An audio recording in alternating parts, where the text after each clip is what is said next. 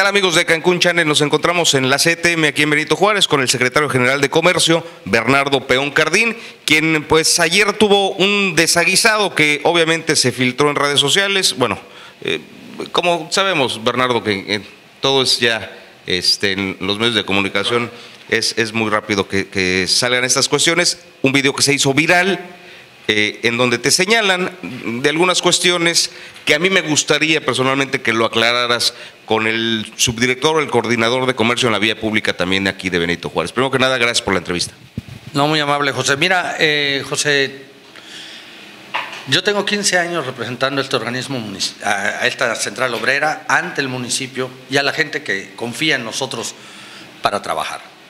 Yo manejo el sector comercio de vía pública y obviamente tenemos el problema de que ya actualmente hay demasiados intereses metidos en lo que es el comercio ambulante. Ya no es un beneficio para la gente más necesitada, sino ya lo volvieron un, negocio. Ya vemos a Holanda, Vive 10, o sea, cosas sin fábricas y empresas que no tienen necesidad de vender en la vía pública.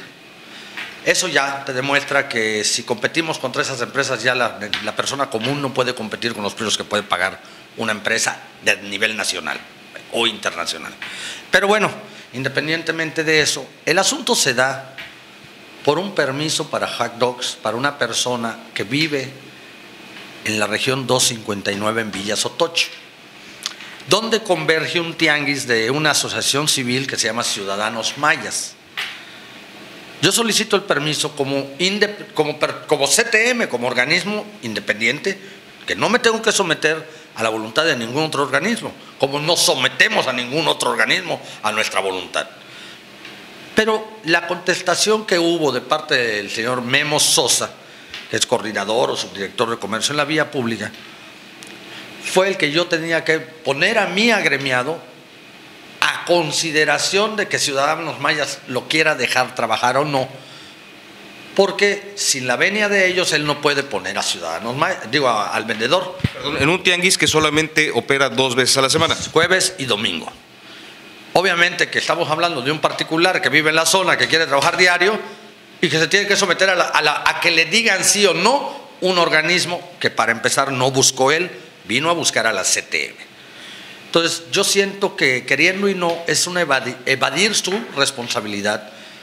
Y no sé, desconozco qué acuerdos tengan, si tiene ciudadanos mayas tal fuerza que puedan decirle que no meta a nadie en la, en la, zona donde trabajan y el señor se tenga que someter, pero yo fui a pedirle a la autoridad correspondiente la venia para poder poner a una persona a trabajar en lo que se hacía el trámite del permiso, cómo se maneja y cómo se hace con todas las organizaciones sindicales.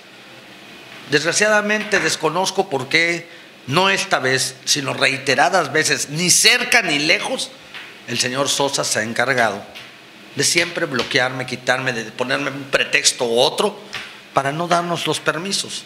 Tan es así que tú puedes revisar los padrones de otras asociaciones menores que la CTM y nosotros solo tenemos 57 permisos en todo Cancún incluido Palapas, incluido Palapas 2, no pasamos de 57 permisos. Para que me autorizaran los permisos de Palapas 2, tardaron siete meses para que me los autorizaran. En ese caso, por el apoyo del presidente municipal, que siempre ha estado dispuesto a hacer un trabajo excelente y en, en combinación con los organismos sindicales, Toda vez que queriendo y no, nosotros somos parte de esa organización municipal y tenemos o debemos de brindarle el apoyo. Tenemos el compromiso de mi líder. Pero quiero aclarar un punto también en esto. Ha habido en esa viralización y en ese señalamiento hacia mi persona también el querer manchar la imagen de Isidro Santa María. Quiero pedirte y, que salga esta parte, porque es importante. Isidro Santa María es un ente independiente a mí.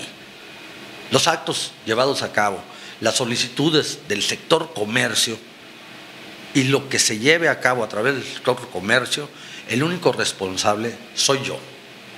El señor José Isidro no tiene nada que ver, ni estaba ya en ese momento. Yo solicito que lo llamen, a, a mi esposa le solicito que es también la que ya te otorgaré el, audio y el video que nosotros grabamos, para que también la verdad se pueda discernir de la manera correcta. Yo no puedo disponer de un permiso a voluntad personal o propia del este organismo, porque no soy autoridad ni los puedo dar. Si hay un uso debido o indebido de los permisos, no los hace ninguna organización, lo tiene que hacer la autoridad que es quien la otorga. Nadie va a, fabricar un permiso y se lo van a respetar como tal, porque sería un delito de estar falsificando documentos y todo. Entonces, Bernardo, perdón, hay un punto ahí interesante, porque en el video se, se escucha perfectamente también eh, que hablan de dinero. ¿Tú en algún momento, o ellos te han pedido dinero, en, en particular este señor Sosa te ha pedido dinero? Sí. Sí, desgraciadamente sí. Mira, es algo que por lo cual estoy más que indignado porque por necesidad o por querer responder a la gente a veces pues si te piden tienes que voltear y decir, brother, hay que dar. Pero eso es algo que a mí no me gusta.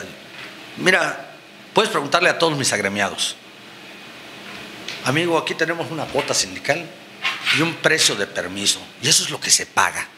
En esta central obrera, todo el que viene buscando nuestro apoyo siempre será tratado y se le cobrará exactamente lo que tiene que ser. Vivimos honradamente. No me dedico, y te lo digo porque represento artesanos en Palapas, represento comerciantes, represento artesanos en algunos hoteles, manejo mucha gente, represento más de 300 personas en total de lo que yo hago como representante de comercio, no de lo que es comercio en vía pública, de ahí son 57 personas nada más. Pero no hay uno solo en ningún lado que te pueda decir que yo le he pedido dinero para Bernardo, para mi organización. Nunca lo. Desgraciadamente, si él tiene una necesidad y a mí me están pidiendo ahí adentro, pues sí tengo que decirlo. Y se los explico y se los digo a la gente como es. Brother, el dinero es para allá. Y tiene que ser. Porque si no, no hay nada. Y desgraciadamente esto es hasta ahorita que se puede, porque ya llegó el momento en el que el Señor piensa que hasta me tengo que doblegar ante otras, o sea, ya, no, no, sabes que te puedo dar dinero, puede ser, pero que me quieras someter a terceros para que yo desempeñe mi trabajo, creo que es un abuso y una humillación de parte de este funcionario, no hacia mi persona, hacia la CTM. ¿Qué va a suceder? Mira, nosotros como organización, te vuelvo a decir, formamos parte del mismo municipio. Mi, mi líder, Isidro, es regidor de este ayuntamiento. Lo que menos deseamos es generarle algún conflicto o demanda a nuestro municipio. Lo que sí deseamos es que funcionarios como estos, que nos afectan y afectan la imagen de nuestro presidente municipal, porque él podrá tener muy buena fe, muy buenos deseos de hacer un buen papel, pero con gente como esta que afecta, se afecta su imagen y su desempeño, directa o indirectamente. Nosotros no pensamos ni deseamos llevar a cabo un acto, toda vez que como puedes ver no hubo una agresión, no hubo un acto violento más allá de, una, de un di, y, dime y direte, ¿no? Acá al final de cuentas hay una cuestión que yo puedo dar y lo digo de frente. Amigos, yo aquí estoy. Busquen a Memo que él les diga qué es lo que pasó.